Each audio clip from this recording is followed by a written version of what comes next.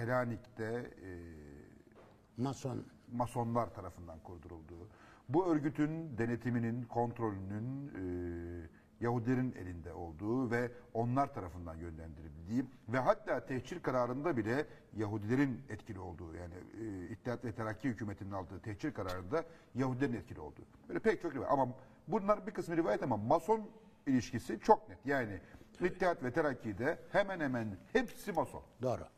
Kim eksik? Bir ikisi. Enver, Hiç. Enver değildir. Enver yok. Enver Paşa yok. 10 kişilik bir liste var. Şimdi hepsinin Mason locasına kayıtlı olduğu doğrudur.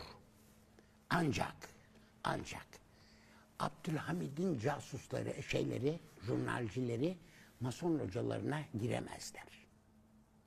Onlara Bu bir, kaydolsun. bu bir Almıyorlar, hayır, biliyorlar. hayır. Bu bir güvence meselesidir. Orada toplantılarını yapıyorlar. Senelerdir aynı şeyi söylüyorum anlatamıyorum. Doğrudur. Yani hepsinin mason locasında kaydı vardır zaten. Bir kısmı devam etmiştir, bir kısmı çekilmiştir. Mesela Talat Paşa'nın hala böyle bir resmi vardır. Üstad-ı Azam. Büyük üstad tabii. Tabii e, Cavit Bey böyledir. Bursalı Tahir Bey değildir. Ben Bursalı Tahir Bey'in masonluğunu bir şeyde e, bir kaynakta bulabildim. Abdülbaki Gölpınarlı'nın Melamiler ve Melamilik evet. meselesinde zikrediyor Abdülbaki. Bir tek dayandığım kaynak budur.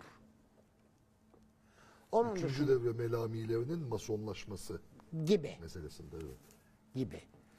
Gayet tabii. Ama Mason locası onlar için bir güvencedir. Bu itaatçıların. Mason arasının altına saklanmışlar yani. Gayet tabii. Peki yine pardon buyurun.